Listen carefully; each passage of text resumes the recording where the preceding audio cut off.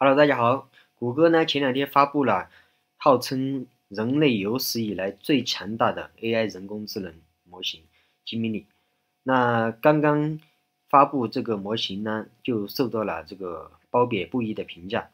有人就怀疑 Gemini 的这个演示几乎是伪造的。很多人对 Google 的这个 AI 技术和视频的完整性抱有怀疑的态度。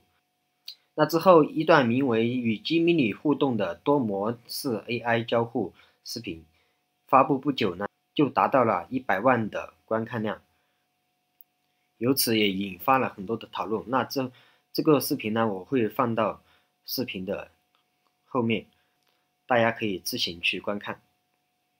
那 Gemini 呢，是以一个从头开始构建的多模态化文本、图像、视频、音频和代码的。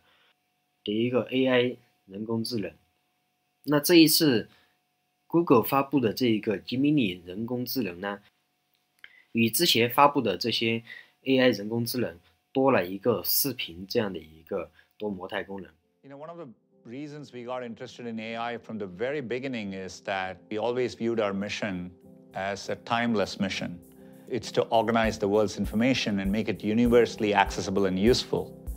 But as information has grown in scale and complexity, you know, the problem has gotten harder. So we always knew we needed to have a deeper breakthrough to make progress.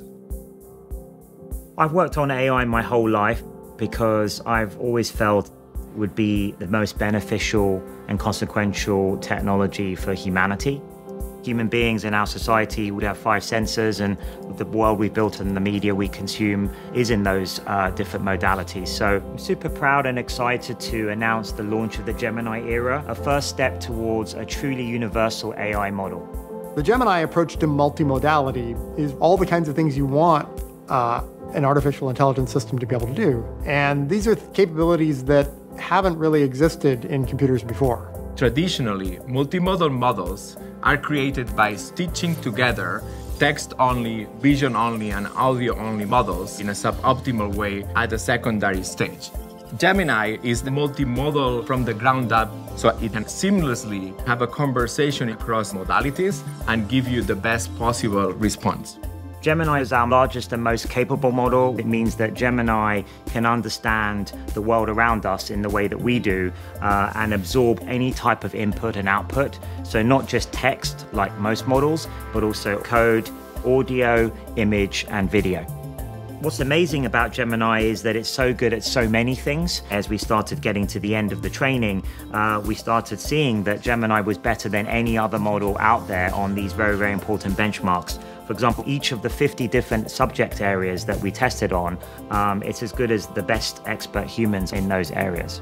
It's very rare that you can work on a technology at a foundational level and it simultaneously can impact all our products. We created a family of models that can run on everything from mobile devices to data centers, each of which is actually best in class.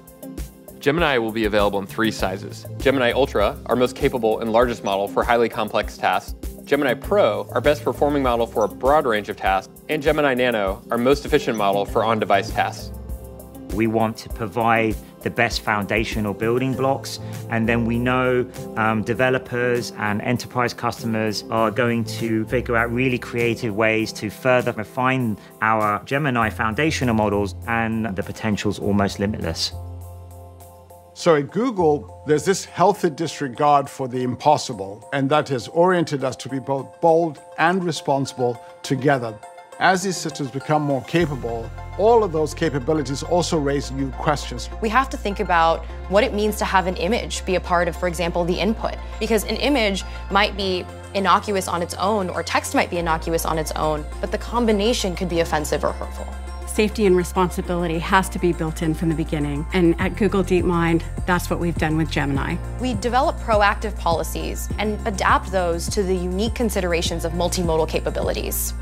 We then do rigorous testing against those policies to prevent the harms that we've identified with approaches like classifiers and filters. If I were to look at the foundational breakthroughs in AI over the past decade, Google has been at the forefront of many of those breakthroughs. And I think Gemini continues that rich tradition. It's been an, an enormous sort of monumental engineering task, which has been, you know, very challenging but also very exciting. I have been at Google for quite a while, and the reason I'm here is really I believe in the company's mission, and I think Gemini is a great step in that overall mission. We end up with a world that has more knowledge and that people have more access to information that otherwise would not be available to them. That's what excites me the chance to make AI helpful for everyone, everywhere in the world.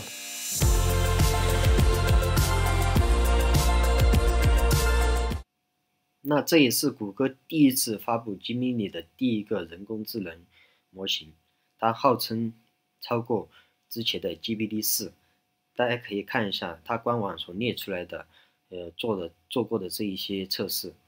第一个是在文本方面， 大家可以看看一下这些所有测试的这个内容，基本上都超过了 Chat GPT 四。这下面也是图像和视频的这样一个，呃。和 GPT 四的一个测试对比，可以说已经遥遥领先 GPT 四。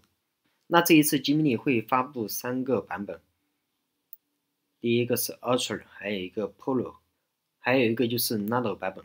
那对于谷歌发布的这一次 Gemini 的这一个人工智能模型，我印象最深刻的还是 Gemini 在这个视频里面所体现出来的这个人工智能。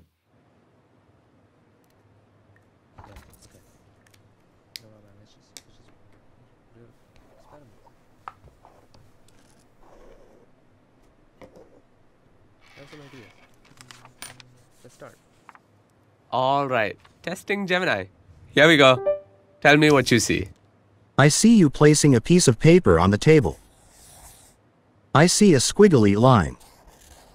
What about now? The contour lines are smooth and flowing, with no sharp angles or jagged edges.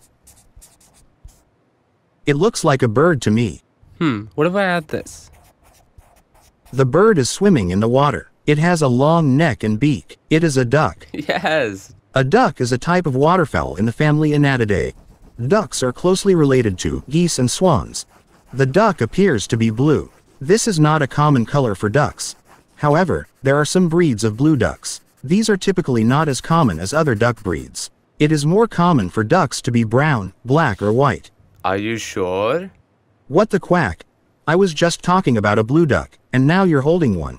It looks like blue ducks are more common than I thought. Would this float? I'm not sure what material it's made of, but it looks like it might be rubber or plastic. What if I tell you it's making a squeaking sound? Oh, if it's squeaking, it's definitely going to float. Hmm, nice. It is a rubber duck. It is made of a material that is less dense than water. Can you teach me how to say this in a different language? And give me a few options. Ooh, can you explain how to pronounce the Mandarin one? Is it Yazi? Yazi is pronounced with a first tone. In Mandarin, there are four tones, which are essential to distinguish the meaning of words. The first tone is a high, level tone. Oh, okay. The duck is in the middle of the ocean. There is no land nearby for the duck to rest or find food. It is unlikely to find ducks here naturally. Okay, based on what you see, come up with a game idea. Oh, and use emojis, please.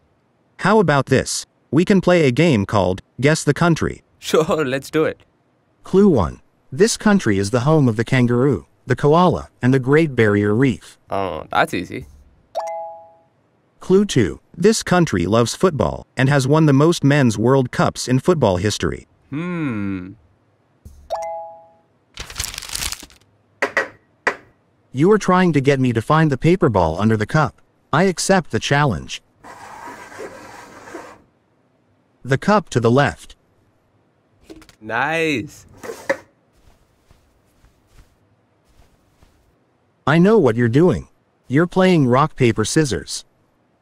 What do you see now? The fingers are spread out to look like the wings of a butterfly. What's this? Big ear and barking mouth. A dog. Sweet. The coin should be under the right hand. Hmm, I don't know. The coin is in the left hand using a sleight of hand technique to make it appear as if the coin has disappeared. Both objects are round and flat. There you go. Both are food. The orange is a healthier choice than the cookie. Citrus can be calming and so can the spin of the fidget toy. They are both examples of popular toys that have been enjoyed by children and adults alike for many years. Give me some ideas for what I could make with this. I see pink and green yarn. How about a dragon fruit? Or how about a green cake with a pink heart? Okay, how about these colors? And maybe show me some animals. Okay, now I see blue and pink yarn. How about a pig with blue ears? Or an octopus? Or a bunny with a pink nose? Ooh, I'll keep those in mind. Which way should the duck go? Going left leads to a duck, which is a friend. Going right leads to a bear, which is a foe. It is better to make friends than foes, so the duck should go left. Smart choice. This is a picture of a crab. That's right. Is this the right order? No, the correct order is Sun, Earth, Saturn. Based on their design, which of these would go faster? The car on the right would be faster. It is more aerodynamic. Which looks more fun? The one on the right, because it has a loop. What do you think this person might be saying? How about a woohoo? Ooh, I love that.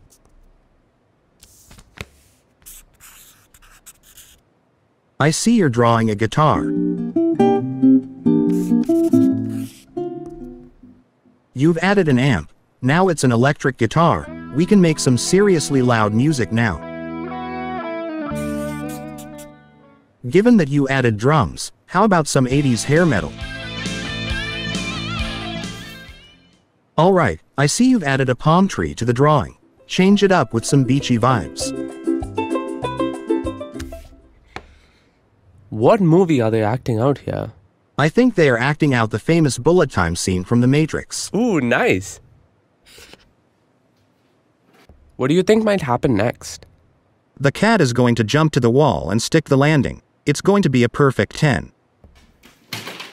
Oh, and it's a miss. It looks like it was just a little too far away, but don't worry. The cat is a natural athlete and it will be back up there in no time. Okay, I've got one more for you. Describe the drawing I made. It is a simple line drawing of the constellation Gemini. You did a good job of capturing the beauty of Gemini. Nice. That 那在这一次的吉米尼发布呢，Google 也在官网表示， 谷歌会将吉米尼的 Pro 版本带给 Google 的人工智能 Bard。那目前呢是可以在 Bard 中体验吉米尼 Pro，稍后会将这个体验的网址放在视频的说明栏。大家可以自行去获取。如果你在体验的过程当中发现有什么有趣的事情，可以和我们在评论区一起分享。感谢你的观看，我们下期再见。